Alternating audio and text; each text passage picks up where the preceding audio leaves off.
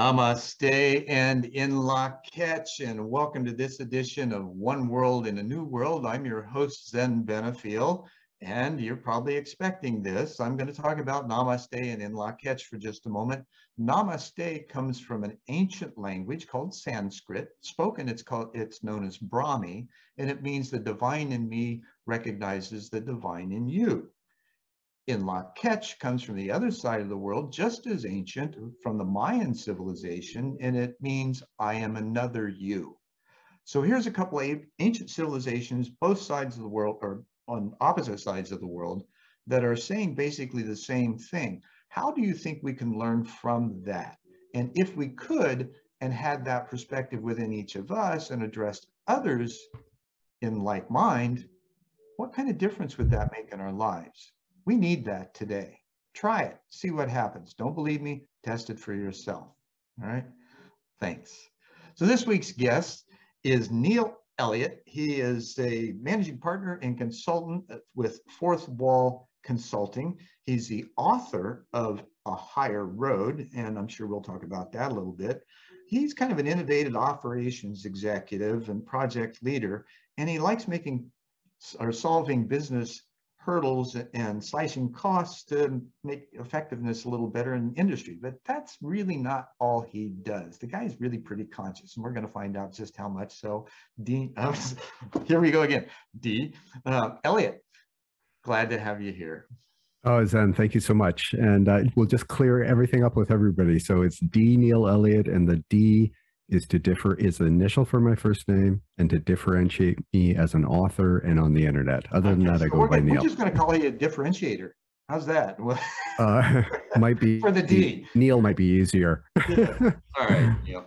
Well, again, uh, appreciate your time and your energy, and, and, I'm really looking forward to diving deep with you. And so let's do that. So, with your your book, I know that called The Higher Road, that you you explore other areas, but it, as far as the internal aspects of life and, and how those correlate, when did you first begin to notice uh, a difference or or even uh, uh, an experience of an inner life that had uh, significance in your life?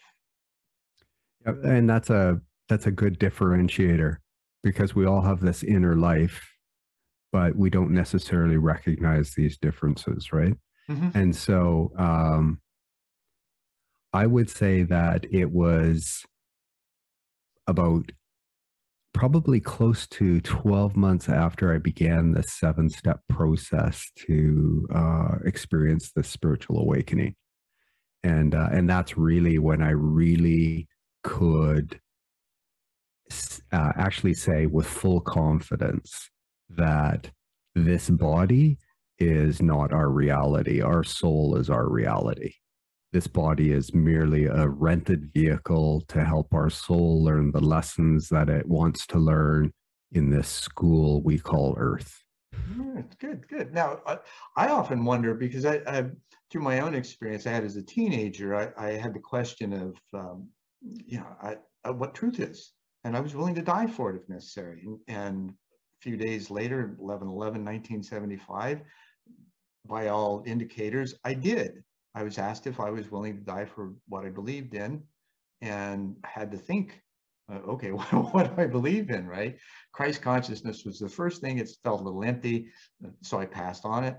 And, but the cosmic consciousness is where I landed and it felt full. So I said yes. And pretty soon I ended up, uh, had an out of body experience, went into light, went beyond it into a indigo background with points of light surrounding me, was told what their function was with me in, in this life. And then I came back into my body and I, there were two things that I got out of that immediately. One, because I was thinking and analyzing the process, I knew I wasn't dead, right? Because I still had an individuated consciousness in the light, even though it felt like it was part of a oneness, right? And it had this iridescent, effervescent, high-pitched sensation to it that some may just call home, right?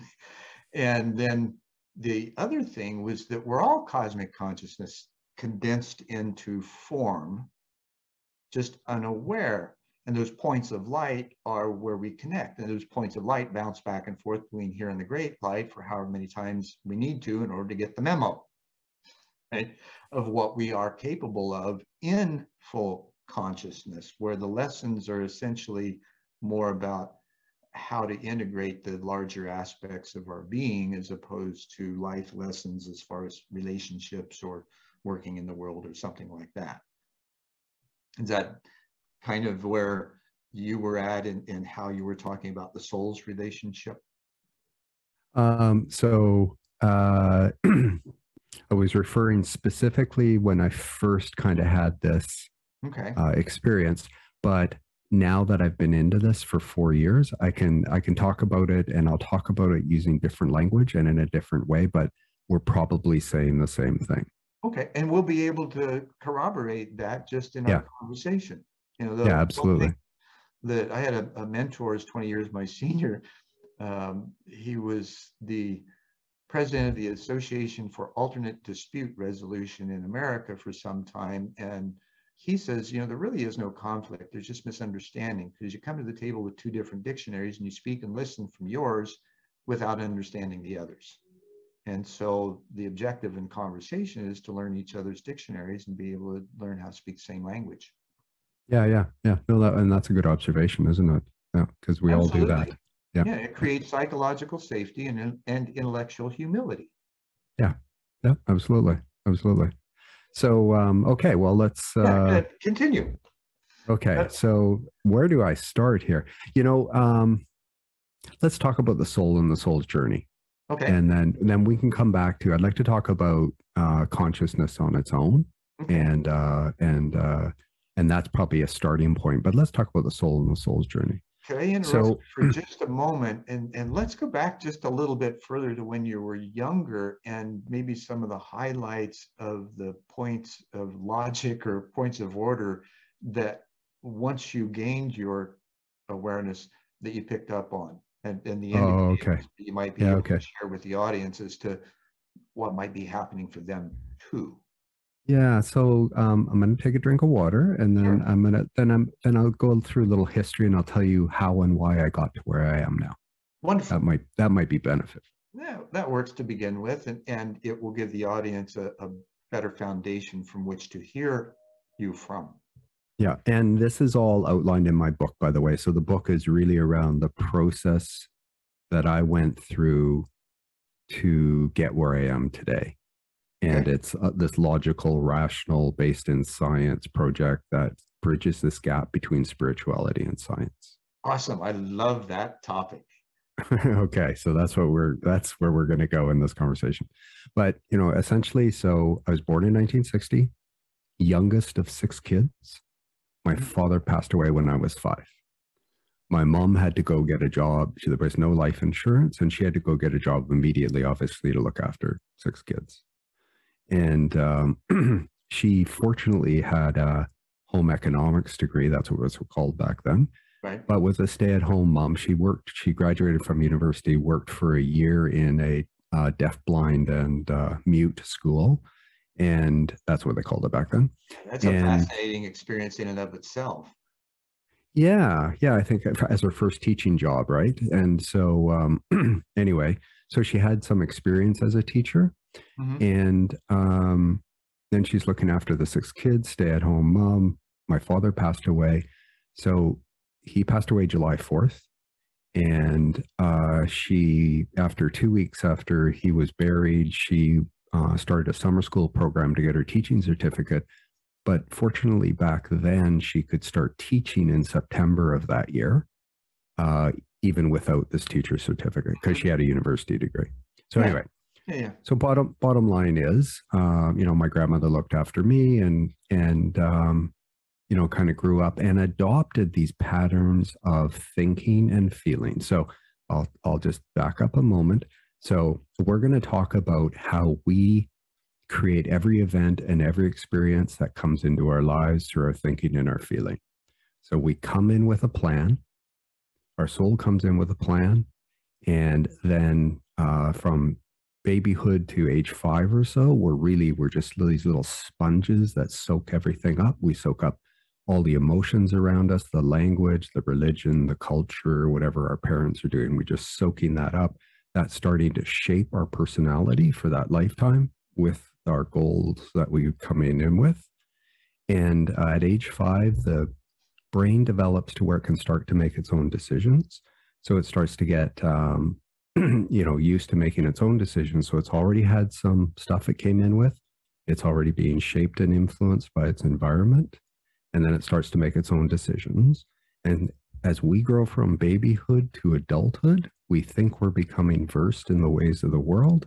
But what we're really doing is shutting our soul off from the light. We're binding it down with our patterns of thinking and feeling. And those patterns of thinking and feeling that many of us and most of us adopt are contrary to where we come from and to where we return. We come from unconditional love, we return to unconditional love, but everything that we think and do that is contrary to that creates these bondages of uh, of the soul to shut it off from the light. So I developed these patterns of thinking, uh, as we all do, and reinforce them. Mm-hmm. And uh, got an engineering degree, got an MBA, and uh, and you know in the working world.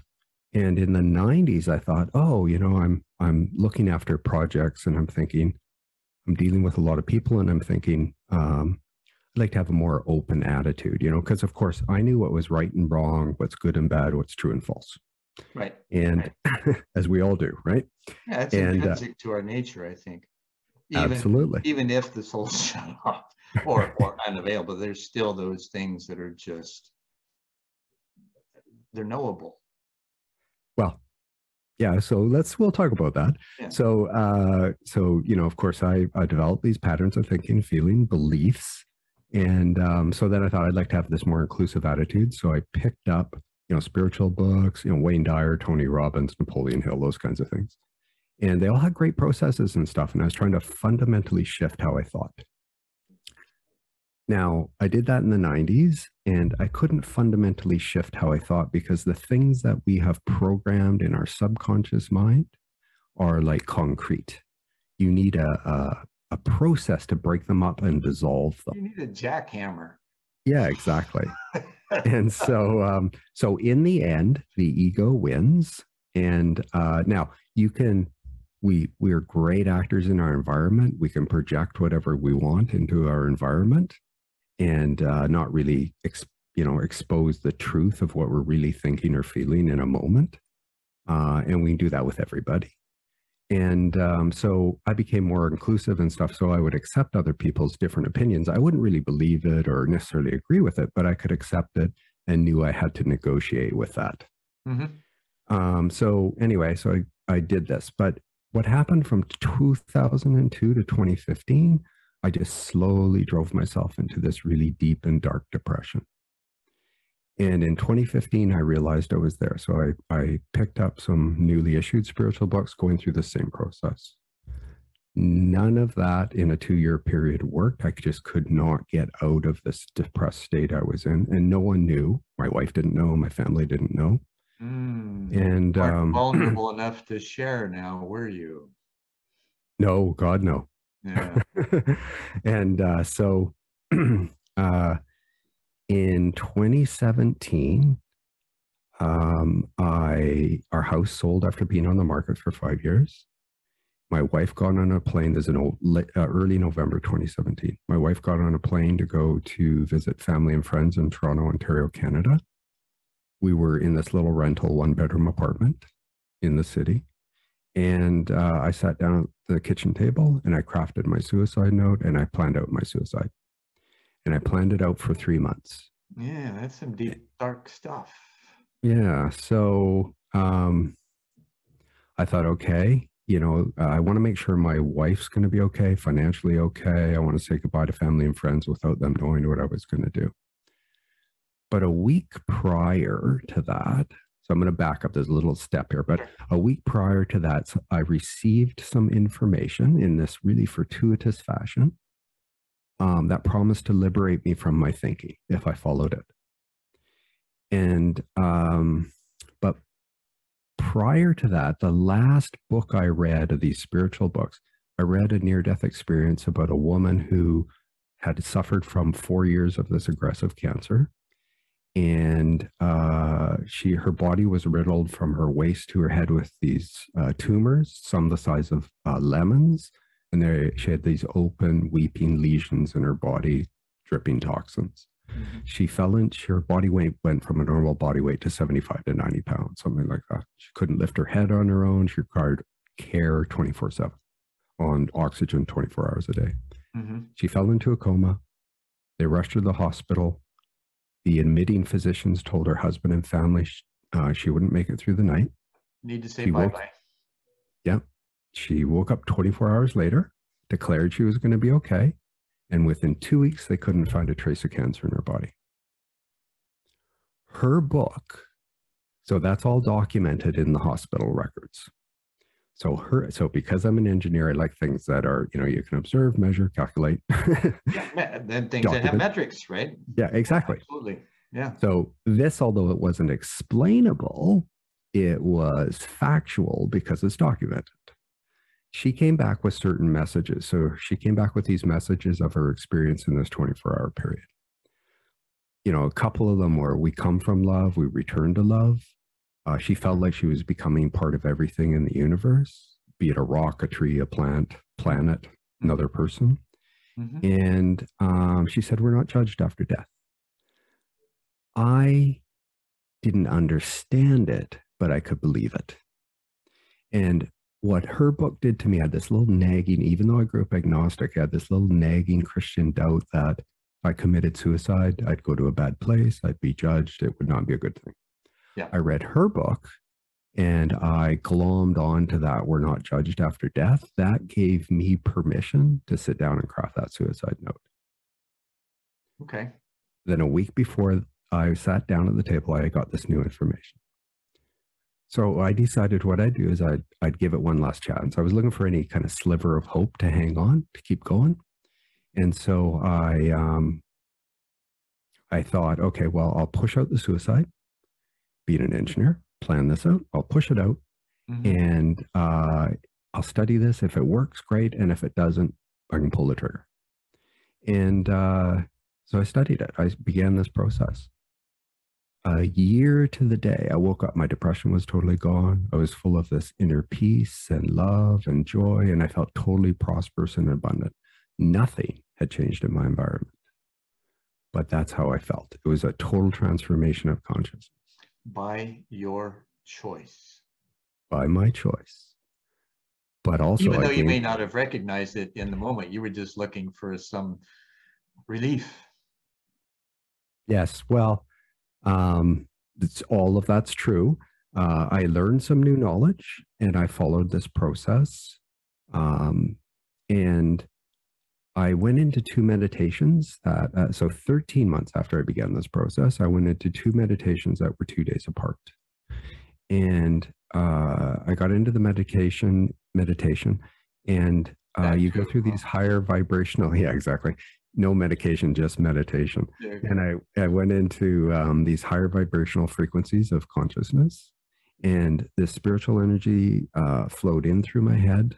It it filled my body, then it enveloped my entire body, and I just felt bathed in unconditional love. And it, and it's an unconditional love we can't explain. We don't have the human language to describe it. Let me ask you this, as far as a descriptor, at least sensory wise, I, I mentioned my own experience and, and how being in the light felt iridescent, effervescent, and, and really high pitched sensation. Did you notice anything like that, or was your awareness in a different place? Uh, let me describe it this way and we'll see what matches for me. So okay. for me, I just I just felt totally enveloped in unconditional love. I felt non-judged. I didn't care what aches and pains my body had. I didn't care what illnesses I had. I didn't care what anybody had done to me in the past or what I had done to anybody. I just felt totally supported. Now, higher frequency, absolutely, because uh, as you go through this process, what you do is you you learn to access these higher frequencies of consciousness. So, our creator, whether you call it God, Yahweh, the Tao, call it whatever you want, our creator uh, is in silence and stillness and equilibrium. And it is these opposing impulses, this is before the Big Bang, it's these opposing impulses. And science will never be able to probe space and discover it because it is in the silence and stillness and equilibrium. At the time of the Big Bang, these impulses were ripped apart, and we see them as electromagnetism. And um, the in order for you to get access to the source of our being, to allow your source of being to actually enter into you and to make itself known to you. It is such a high frequency of vibration, so spiritually refined that even though it is it is radiating unconditional love to everything in creation, every moment of the day, it cannot make itself known to you until you start to raise your vibrational frequency of your human consciousness to be able to accept it and feel it and experience it. And when you go through this process to do this, then the uh, universal consciousness can make itself known to you, can support you, can guide you, can direct you, and can fill you with uh, every aspect of its being. Mm-hmm. And so that's the process that that I went through. And I had two of these two days apart. And so as soon as I had those two experiences, I knew that the new knowledge I gained and that the process I followed was all absolutely true. And um, you know, that is unshakable for me. Sure. You, you know, you talk about earlier. Well, that's a visceral know, experience you cannot deny. Um, exactly you know, I, you mentioned the the early childhood development and the up to five years. I, you know, I mentioned I was orphan and adopted. The and I'm just I'm sharing this in reflection of what you said and, and looking for um, possibly some corroboration or offering some in, in yet another way. And that is that at four and a half, my parents brought home my adopted sister different parents. Of course, she was adopted. There was no process, and they felt like I was intelligent enough to understand what adoption was about. And so they shared with me what that was, and that I, you know, I had no, I felt unconditional love from them. There was no question. I had no doubts at all. And yet, by knowing that, there were a few questions that came up. One was who are my real parents, and another one which was a little odd for such a young one, but I had had some experience in church already and, and kind of got the framework. I wondered if there was, if I had a father and mother in heaven and could I talk to them? So a few months later, I had this experience. I was uh, standing on the stairwell or on the landing of the stairwell looking out through a window on our front porch. I had my elbows in the windowsill and, and my chin on my hands. And after dark, I was waiting for dad to come home from the store. And all of a sudden, I hear this loud, booming voice, and it simply says, Hey, you. And it was so loud that I just knew that my mother, who was sitting 20 feet away, bottom of the stairs, watching television, and I knew the voice didn't come from there, I knew that she should have heard it. So I spun around rather than interact with it. I spun around and asked her if she could hear it, wanting the outer validation, I guess, at that point. She says, nope, didn't hear any voice. So I could not deny what happened, what I heard. And probably, you know, several months later, I started experimenting, probably shortly before my fifth birthday. And I started projecting that same voice out through, you know, out, I would stand in front of windows at night the lights on in the house, can't see outside, and I would project that voice out telepathically and I would wait for it to return. And it wasn't until I got completely silent and stopped thinking about it that it finally did. And then we began developing this conversation. And, and, to this day, I still have those conversations, different ways, different topics, much deeper relevance in, you know, for today than it had then. However, it was a quite a unique experience as a child in comparison to what you're talking with uh, of how most of us have proceeded through that adolescent develop childhood and adolescent development. So I, I get it, and I agree with that from my own direct experience. I taught high school for five years, and you know there were very few students. I had 50 students sometimes in a classroom, and you know they were just being kids. There, there was wasn't a whole lot of depth. There are questions about the nature of reality or their part in it. Of course, most of them knew their biologicals, the parentage and, and their history and all of that. So there wasn't the need for the question. Well, you know, so yeah, no, and exactly. And um, and I'm gonna, you know, I mean, that's a great experience that you had that you've just shared with people. So this shows you some of some of the differences that you know everybody's going to experience because you know your soul is here. You know, you're going to be reincarnated many, many, many times. You know, whether it's a hundred times, five hundred times, a thousand times. I don't know the number, but um, let's say five hundred at the moment. Until you get the memo. Yeah, well, until yeah. So you know, and until you um, you know, it's only through lessons of suffering will the journeying soul um, gain self knowledge to retain individuality after discarding the ego.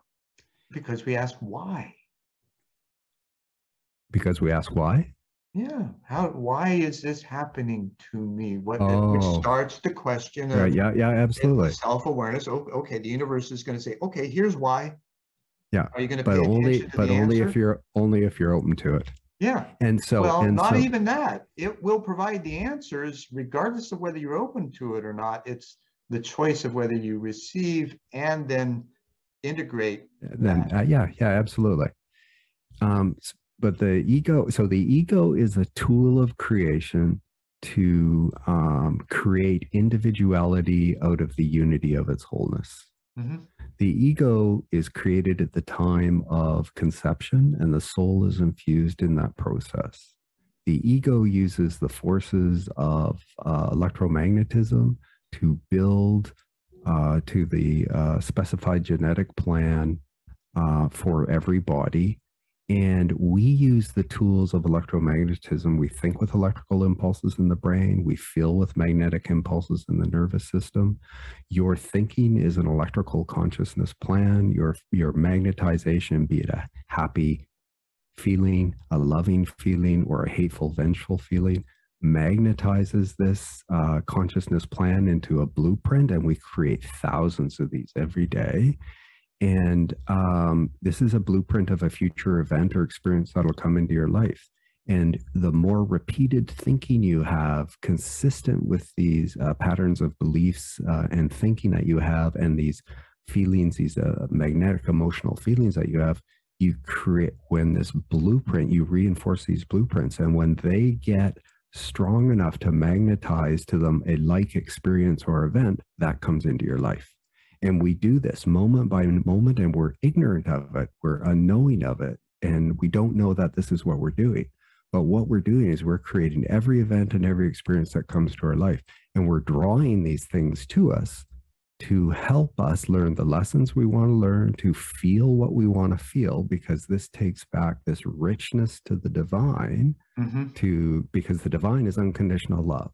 So it's so like another level of the law of attraction um, only a bit deeper in, in understanding of the mechanism that's really taking well, place. Well, yeah. So, you know, in my, so I'll talk about my book for a second. In my book, I share in 2011 how I unknowingly, ignorantly, and unwittingly did something every day for a year that manifested this $60,000 hardtop Lexus convertible in my life.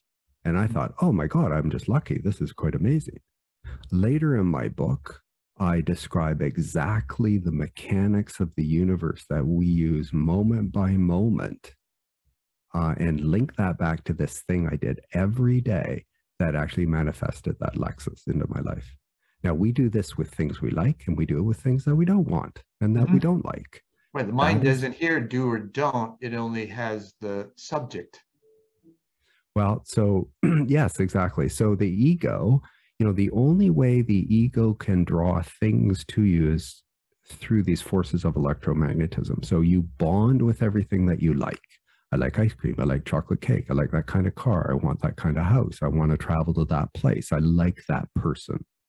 And so you bond with those through this uh, uh, attraction uh, bonding mechanism of electromagnetism. Things that we don't want, and to create safety and security, we reject, we push it away. Uh, it is a repulsion aspect of electromagnetism. So Mm-hmm. I don't like that person. I don't like that event. I don't want to go there. These are things we all push away. This is the only mechanisms that the ego can use to create these experiences in our life. Your soul is always trying to prompt the ego through the psyche to return to unconditional love. But the ego can only bring these things that it experienced in the past uh, that brought it happiness through these forces of electromagnetism. So, what we continue to do is we continue to push things away and draw things to us that we like, and we re- reinforce this with our thinking patterns. And um, and so you know as well as I do, you know, you you go, oh, I want that new car, and so you set a goal to get this new car. You go out, you work hard, you get this car and it's you're really happy about this car for a while right? Like it's just like whoa this is the most amazing thing ever. I'm so proud and happy with this car. And then that's that's um, you know kind of joy starts to slowly die away. So you show it off to your friends to get a little boost. Oh look at my new car you know and Mhm. everybody's going oh yeah. And so that f- makes you feel better. But in the end that will die away. It becomes mundane and boring. So you set another goal. You go after it. All you're doing is trying to draw these things to you to make you happy. And we're using all of our externalities is merely a, a mere reflection of our beliefs. You change your beliefs, you change what you see. Life Absolutely. is really, life is, re- And what you're talking about seemed to me, having been through similar processes and, and having had most of my life at least exploring and, and reaching a greater understanding of this, that those outer accoutrements that we think we need or want to attract to ourselves, as you say, often become much less than fulfilling to us over time. And so there's something more. When I had my uh, awakening at 18, I my parents had me see a psychiatrist, and, and one of the things that he said to me after assuring me I wasn't crazy, I'd gone through a spiritual awakening. Why so young? He wasn't sure because most people don't do it till their mid 40s, is what he said, if they ever do. And obviously, he'd done some studies on this himself. So those kinds of things is kind of what you're talking about about that range where we have uh, first of all in, in mid 40s you know the empty nesters comes about for most people. So there's another desire for what's next in life. And then there's also that maturation process of having some fulfillment of the earthly goals like you're talking about the car the house the boat the toys all that kind of stuff. And then it's like okay now that that you lose interest with that afterwards. Like i mean sometimes you can continue with that and be happy maybe. But i would think that over time it's like there's still something more right which is what you're alluding to so carry on what what was next with that? yeah, you're you're absolutely right. So, you know, life is really a journey within. All of the peace, the safety, the security, the love, the joy, the prosperity, the abundance that you are seeking, it's all inside you. Mhm. It's got nothing to do with uh, what's outside you. It's got nothing to do with your material wealth. It's got nothing to do with what you own and who your friends are or anything else. It's all inside you. And when you make this connection back with the divine, with God, with source, whatever you want to call it, when you make this connection back with with the divine, you begin this process of dissolving these bondages of the ego and allowing your soul to gain mastery of your life. And when your soul can gain mastery of your life, you will begin to uh, experience and project unconditional love to everyone and everything in your environment. i call that the ego transcending to we go Okay. right because when you're in that place and, and you know tell me if i'm wrong you're connected to everything You are right? So connected to there's everything. a sense of we in that place because you're no longer just you you are still individuated and yet you're connected because you make that leap in awareness because of the work that you've done and then what is reflected back to you from both inner and outer perspectives. Right? Yeah, so- symbiosis of that Yeah. So um, yeah, no, I, I get what you're saying there. So we now we're back to this um, dictionary and language and different language and coming to a common understanding. Yeah, So it's great um, isn't it yeah, yeah, yeah. Oh, of course, absolutely. Um, so you know, your soul is a fragment of divine consciousness. Your soul is a fragment of the unity of the divine. After you know, this body is ephemeral, and it'll go back when you die. It goes back to dust, but your soul's infinite and eternal, and moves uh, back into the divine. Now, there The- are some different opinions about that based on several accounts throughout history, Jesus being one of them, that we don't have to leave our bodies behind and that we can reach that level of consciousness where we can take our bodies with us. But that's a much deeper, disciplined lifestyle than I'm aware that we have available to actually understand and live at this point. I may be wrong. That may be available. We just haven't developed the science to understand it yet. Right. So, and and I'm going to say that if you follow that, not you don't necessarily have to do this, but if you anyone follows these seven steps, you will understand that Jesus is actually saying that's a ridiculous human notion. That is a man-made concept. What would somebody want to do with their body in heaven? well, I would disagree with that based on everything that I've read as well. And, and, and so here's part of the intellectual humility and, and psychological safety that we have here. Um, you know, there are multiple accounts of events that dispute what you just said. Uh, People, Mhm. Baird Spalding took a trip with a bunch of scientists to Southeast Asia in the 1920s, and, and they recorded uh, several events like I'm speaking about of um, bilocation, of people disappearing, reappearing. Um, and so these things, and here's some scientists who you know, were bound and determined to figure out they'd heard these things. They wanted to go find out for themselves, and they did. So these records are available as well. And so the, the discounting of that uh, as silly humanness, I, it's possible for sure. Anything's possible. From my experience, I, I would have to politely disagree with it based on what I know and, and what my own direct experience uh, is of having bilocated and teleported myself in, in my early days. So I've had direct experience of those things that kind of indicate that there's something more.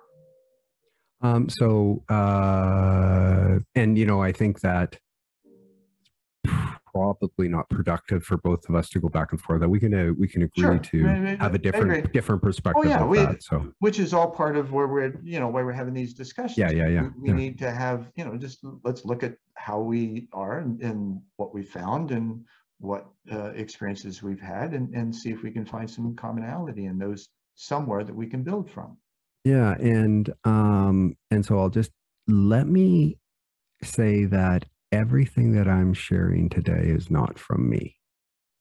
Hmm. I am not. I am merely the messenger. So, so um, i tend so to correlate thing with my direct experience otherwise i don't believe it Yeah, no, fair enough. And uh, I have a direct experience as well, but it's still not from this ego. it is from, you know, it's from a different uh, perspective. It's from, well the, The yeah, unity of the definitely a different consciousness. perspective. I'll, I'll- yeah, yeah. it's from Uh, unity of consciousness, not from me. okay. So, um, uh, unless we say, you know, if we're talking about souls, then yes. But if we're talking about ego and this human personality, no. Oh, no, the- Oh, the- because the level of consciousness that has to be attained, acquired, ascended to, um, there is that state of unity. You know, it's like um, another dear friend, uh, Dudley Lynch, wrote a book called Mother of All Minds, and he presents in that that we have traditionally been in an alpha chassis and alpha uh, mind, right? Steeped in competition and um, bipolarism. And that now some have the beta mind is what he calls it, still in the alpha chassis, but the beta mind at least groks oneness. Mm. Isn't necessarily able to operate in it yet. It understands the concept and is open to the experience of that, which is kind of where, you know, the reason we're having this conversation right? Is how can mm-hmm. we reach this state of understanding of this unity consciousness and learn how to work together better in the physical world in order to assist humanity in its own evolutionary process, which we are in, obviously. Oh yeah, yeah, yeah, yeah. That's exactly. Yeah, I agree with that 100. percent Um, so uh, what was it? You know, you were just saying something there. So uh, so th- the theta uh, theta part is just before you fall asleep or just when you wake up, theta wavelength, right? Mm-hmm. And so when you in this process that I share in my book, you will be taught how to, um, uh, you know, to stop all thoughts and all thinking. And this is the, you know, kind of in this theta state. And that is the state where you can initially start to make this connection with um, our source of being. Mm-hmm. And um, so as you progress in this over time, you can get into that theta state, um, you know, even during waking hours and stuff like that. So you can get inspiration and direction, uh, you know, pretty much any time of the day right. and uh, to help you with this process, this evolutionary process of the soul. I'm so, sure that that's really a, a great process. And, and, for an engineer and, and the, those of you who need processes, it's probably yeah. right. Um, as a teenager, I found another way that I've used my entire life and, and teach my coaching uh, clients whenever possible. And that's simply to put your fingertips together and feel your heartbeat in them. Mm-hmm, and, mm-hmm. and then because when you can when you're feeling your heartbeat in your fingertips you're officially out of your mind you're not thinking you're mm-hmm. feeling and then the Mm-hmm. more you focus on deepening your breath and focusing on the heartbeat you can feel your entire body pulse and just beyond that is where you enter the theta stage Mm-hmm, mm-hmm. which still it takes some discipline and practice to do so um, but you can do it anyway. You know, yeah, yeah, yeah, exactly. You sit in a meeting and yeah. and have that process once you've practiced it enough to really clear yourself and, and just be available to what needs to happen in the moment and be able to serve it from that perspective. Yeah, yeah, yeah. Good. Yeah, excellent. Yeah, there's different ways to do this. Oh, absolutely. So, yeah, and yeah, some, yeah, yeah. Some need really, you know, hardcore structure, right? The oh, rituals. Oh, yeah. And, and I think like so so don't misinterpret i'm not saying that i'm saying the process i went through of learning the new knowledge going through this process to be able to have the spiritual awakening is the process part of that process is just helping you get to this point where you know you you need to You're at least i needed to start in meditation to get to this point where you make connection back with the divine Right. so i can do that i can do that i don't have to be in a meditative state now to do that i can do that That's at any time practice, That's- huh? that that's the benefit of practice so Yeah. in a conversation i can just take a moment in that conversation be quiet and i can be in that state Mm. so and that then allows this connection back with the divine to help you in that moment i mean our goal here you're not here to please god. You are here to express god and god is unconditional love. And unconditional love is you know this expression of unconditional love to everyone and everything. This is the transition that you know will eventually happen around the globe and this is what will bring us into this new era of love and peace. And I would offer this too, because you know this kind of stuff, uh, uh, and I'm right with you. But to others, it sounds really woo-woo, just way out there, right? But the thing is, by operating in this new living awareness, it doesn't change the physical structures of the world much at all. What it does change is how we interact with them and each other.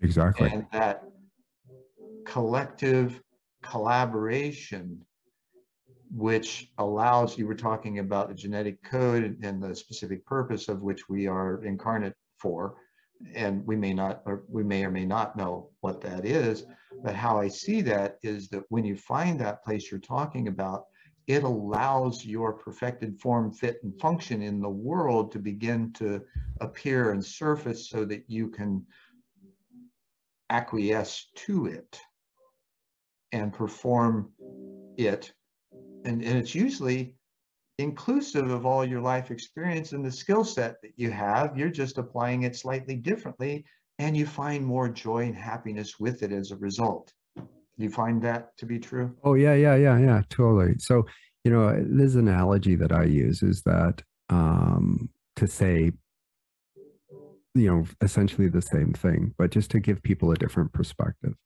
is, uh, you know, you you come into this world and we're like method actors and we adopt the role, we dress the role, we speak the role, whether we're on film or whether we're, uh, you know, practicing for that when the director calls action.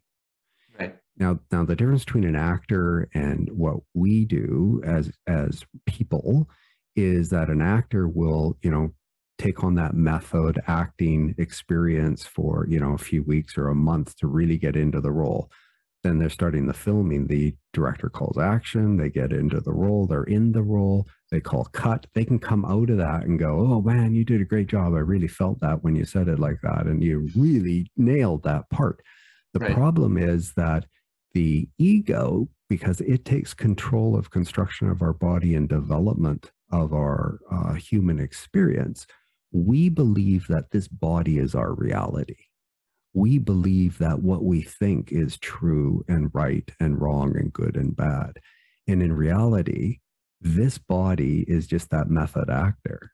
And when you understand that you live in this duality and your soul is your reality, and this ego is just our method actor, this body, this physical form, you get to a place where you can step out of that ego. As a matter of fact, your goal is to actually just let the operate this vehicle in this world, but be this expression of your soul of unconditional love. And, and again, it's a trans. It, it, doesn't do away with ego. It oh, no. evolves it to a new level of functionality. The ego, there's nothing. The ego is a divinely ordained tool. It is nothing to be condemned. It is what keeps you, uh, draws to you what you need to survive and uh, creates these uh, protective mechanisms of safety and security to help you feel secure and to ensure you move out of the way of that you know mm-hmm. bus that's about to hit you. Until and, you realize that by being in that place of fearlessness vulnerability openness unconditional love which there really is no protection in that place because you don't need it. You don't need it yeah, no, you don't.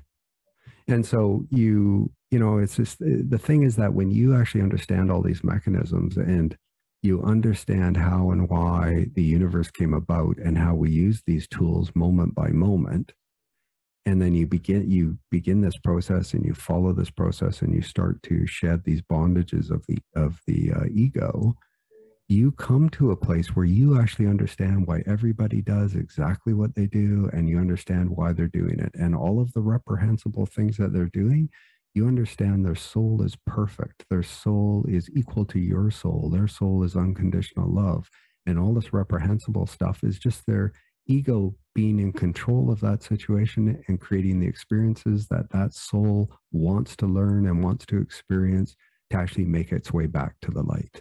Right Right. And so you don't judge anybody anymore. You don't judge anything anymore. There's no negativity. There's no judgment. There's no good or bad. There's no right or wrong. It's just the process. And that's what you see. And then what you want to do is you want to express unconditional love in that situation to try and help that soul wake up to begin this process. Mm-hmm. Uh, it's funny uh, and quite synchronistic.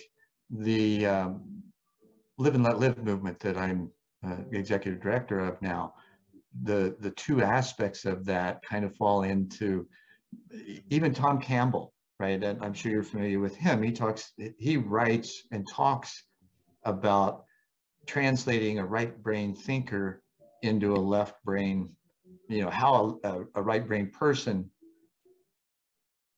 operates in left brain terms, right? To try and bridge that gap. And he talks about avatars and the same kinds of things that you're you talk about as far as our ability to choose and manifest our reality from that perspective.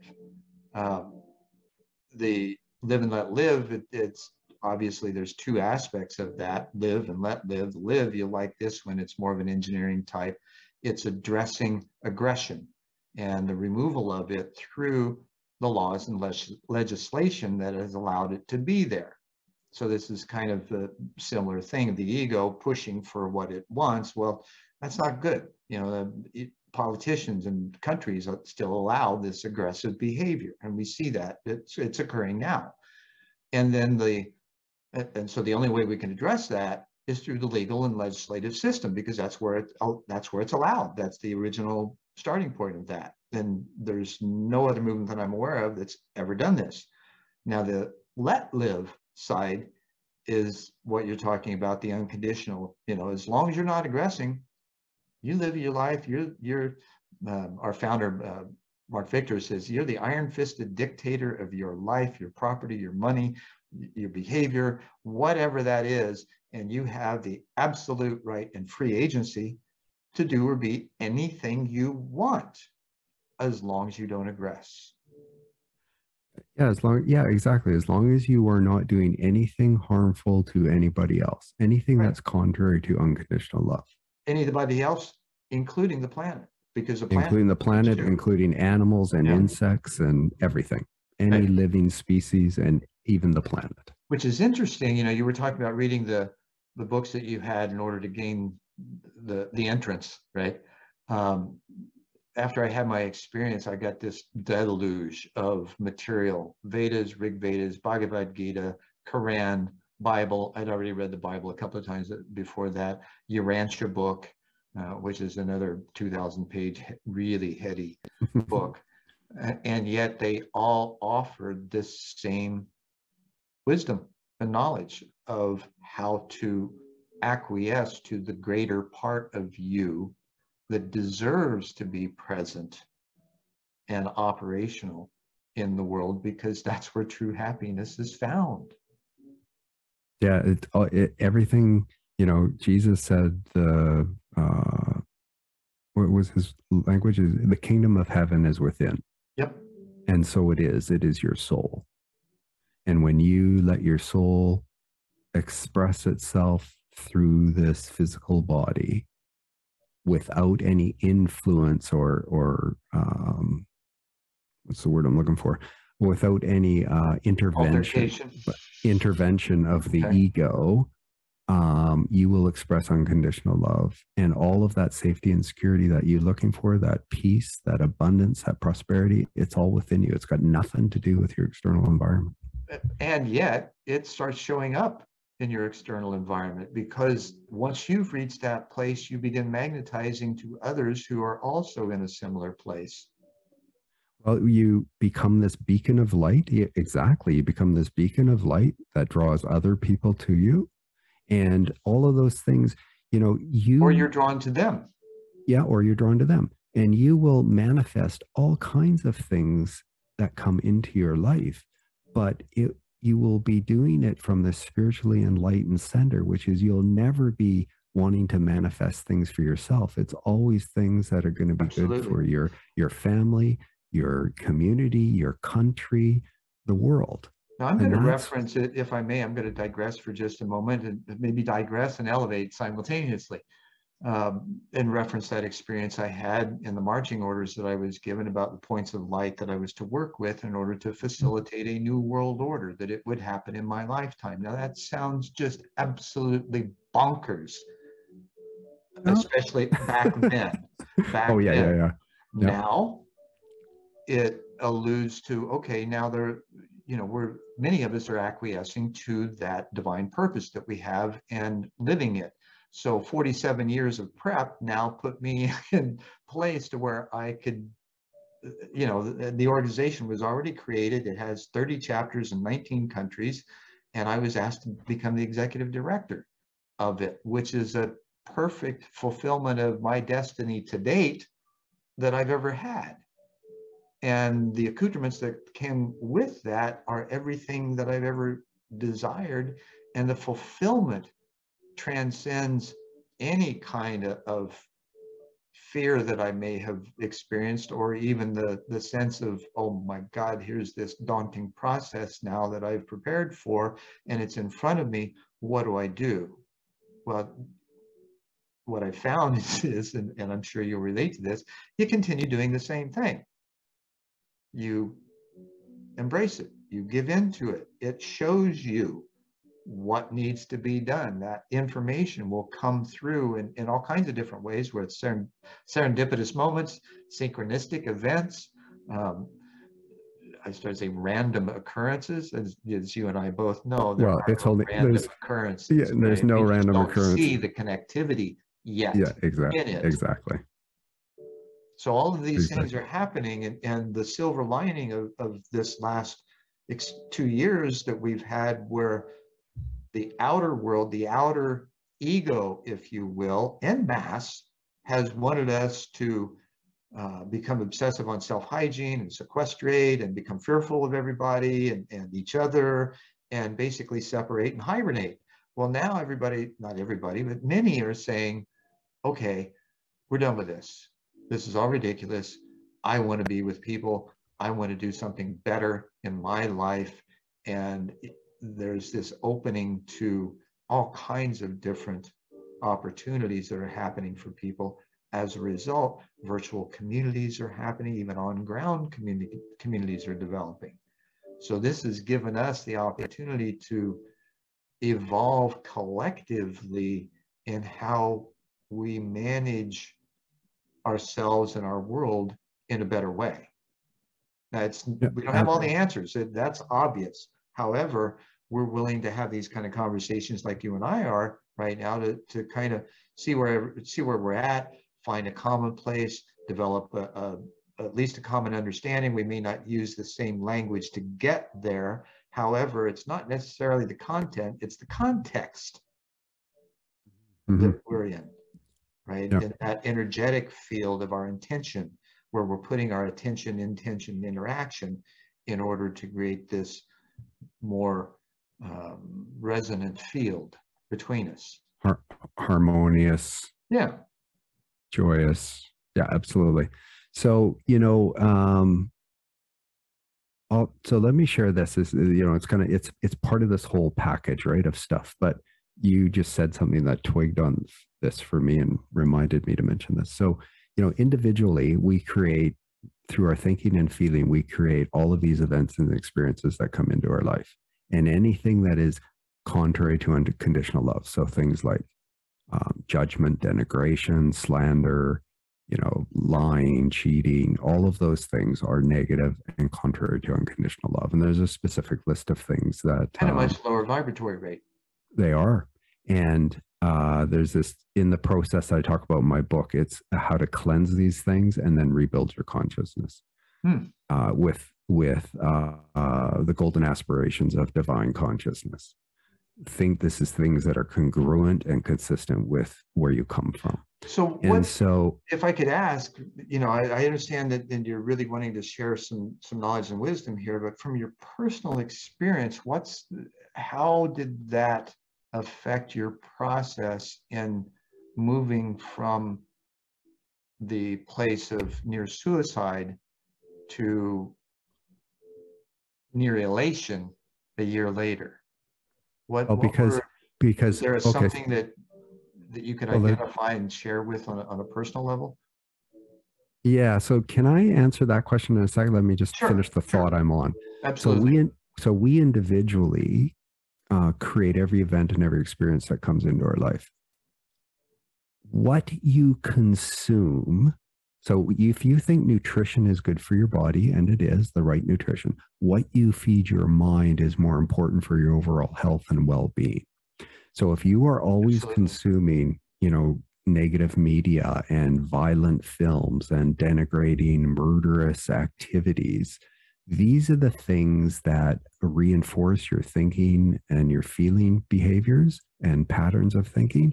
And these are the kinds of things that uh, reinforce your activity and your behavior in the world and create these events and experiences.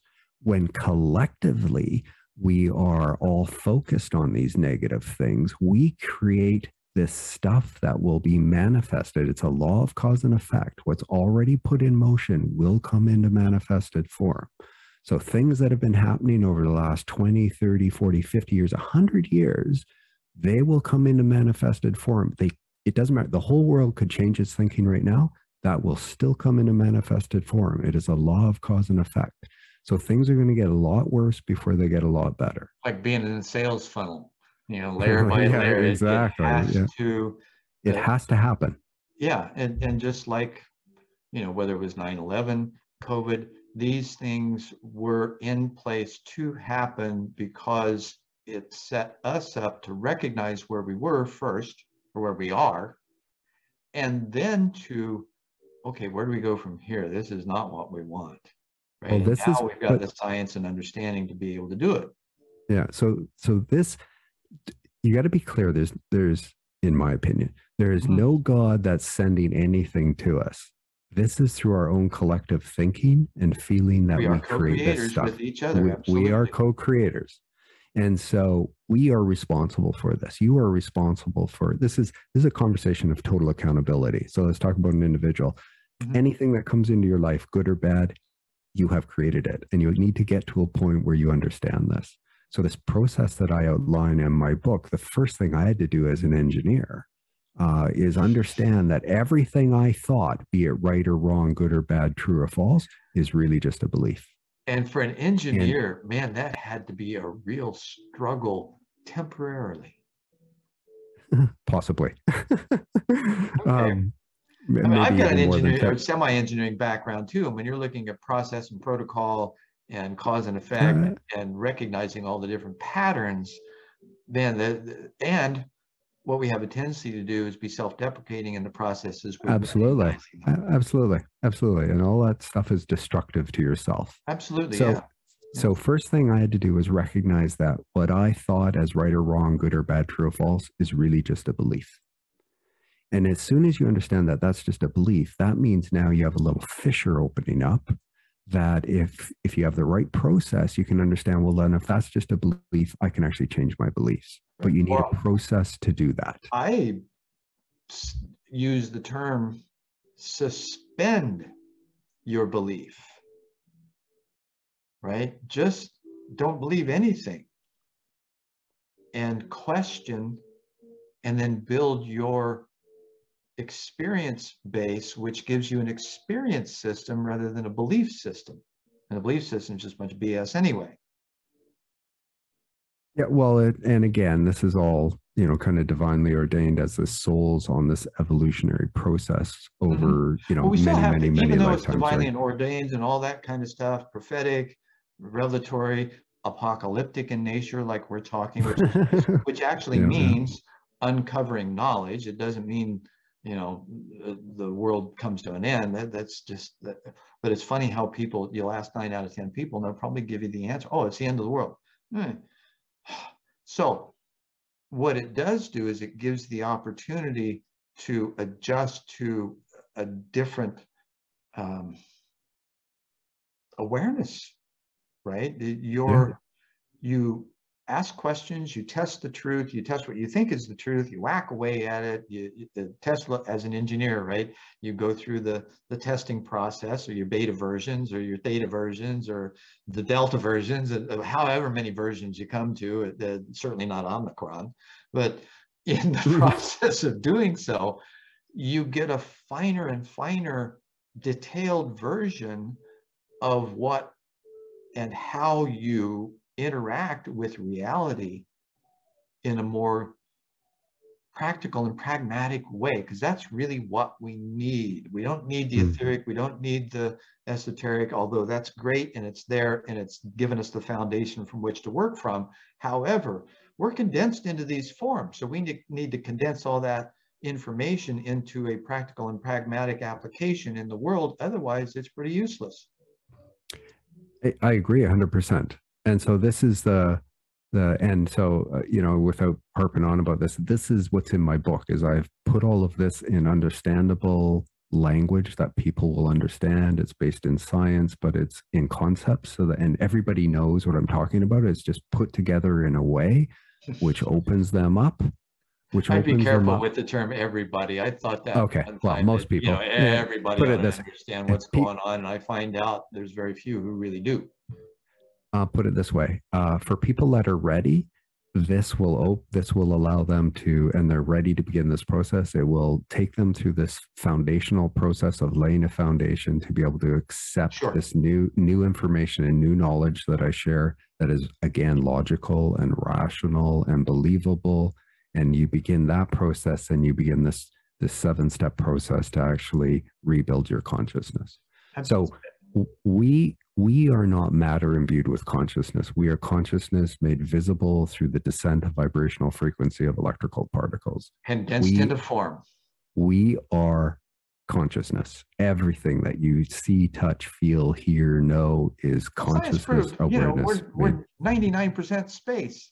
Exactly. Know, when I was when I asked what the Trinity was, I was taken to a place and uh, across the universe, for lack of a better, and three spheres uh, appeared and uh, had a, a, dozen small green spheres in orbit around it, or what appeared to be, and they were maybe one fiftieth the size of, of the three spheres. And, and uh, they took one voice and said to me, "We are not only your forefathers; we're also the forefathers of your solar system."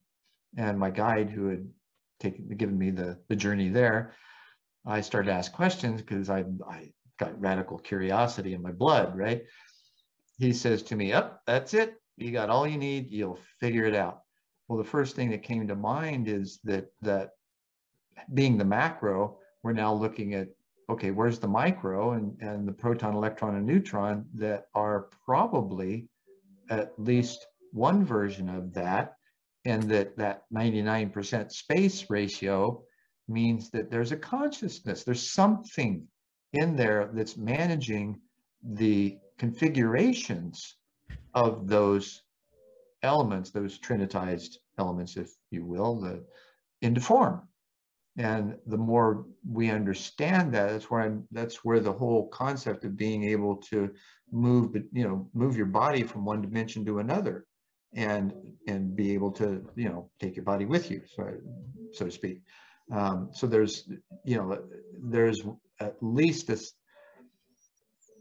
a semi-logical path to that possibility right? And and so those things are are coming into a new awareness a new uh, capacity for us to explore and expand and, and even integrate with what you're saying. Now what i find though um, and i'm sure you'll agree with this that there's a certain uh, collection of folks that we tend to have similar uh, vibrations with or, or uh, resonance to. And that those tend to have clusters, let's say, and, and so those people would be the ones that would be apt to follow or find you and, and be attracted or magnetized to the information in your book. There's many others who do similar things. And so there are, you know, the old adage, there's many paths to the top of the mountain the fact is that we get to the top of the mountain and we share in that space of, of how we got there to kind of confirm that we all are on at least we're in the same chapter if not same page and then figure out okay now where do we take this? Because this is a new area for all of us that we're just exploring together and how can we evolve in a new way to create a harmony among people and planet in our time. And I think that's really what we're facing in the next 10 to 15 years, actually. Um, there's a uh, gentleman named Wilbert Smith who ran Canada's UFO investigation program in the 1950s. Well-respected scientist. The program was funded by the Ministry of Transportation, so it was a legitimate program. It wasn't just some, you know, guy that fell off the turnip truck. Uh, but what Wilbert had was conversations with people from elsewhere, is what he called them. A couple of things that they identified as misgivings in the human consciousness. And one was that we live both, we live half inside and half outside. And that's evidentiary of what you're saying. The other is that time to them is a measurement of the change in entropy. So that would indicate as we learn to work together in harmony, entropy decreases and we can get more done in less time. Because there's this fear that we're not going to have time to do what we need to in order to prepare us for these coming, you know, climate changes and whatnot. Right. So this Uh, gives you an yeah. indication that, you know, that's actually, it is possible that we are in the right place at the right time and we do have enough time to make things happen because we're we're prepared to things for things to happen because we have the understanding that we're capable of it. So um, well said. And and for me, I'll tell you that I'm not concerned No, because I'm not saying that I'm concerned. uh, I'm no, just- no, no, this no, no, no, That we I'm- need not be yeah, concerned. yeah, yeah, yeah, yeah. No, no, I agree with you. But I'm just gonna the language I would use for that for me will be, you know, I'm not concerned because everything is coming together as it as it will come together, as it rightfully needs to come together to create this transition. And so One might call that perfection. Yes, exactly. One might. And so, um, you know, yeah, no, that's great. Um, oh, there was something else I was going to, I was going to answer your other question and I've forgotten what it was now. Oh gosh, I forgot what the question was too. It was there and then, well, at least it was asked, so it's out in the Yeah. thought somebody, it someplace, and someone will answer it, I'm sure, or, or at least, Yeah. you know, it'll trigger some thoughts in others, uh, which Yeah, is yeah, yeah. One of the highlights of having apocalyptic chats is Yeah. being able to share and compare and learn from each other and grow and, you know, and, uh, and expand the thoughtmosphere.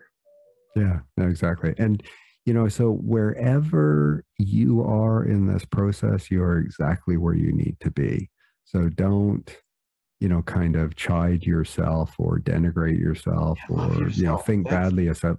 You, you've got to not do that. You have to understand you're exactly where you need to be.